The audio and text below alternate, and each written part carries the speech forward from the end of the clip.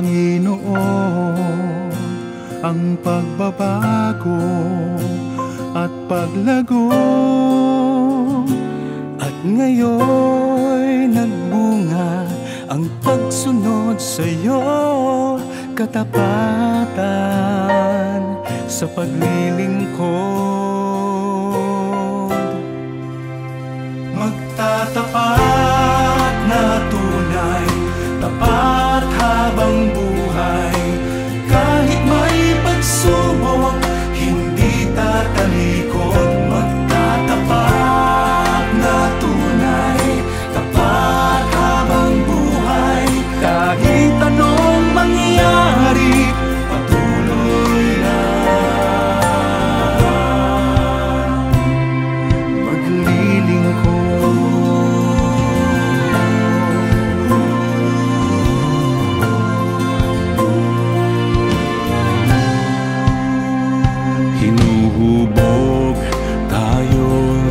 pagsubok Upang tayo ay tumibay sa paglilingkod Paglalakbay ng buhay kasama ng Diyos Tagumpay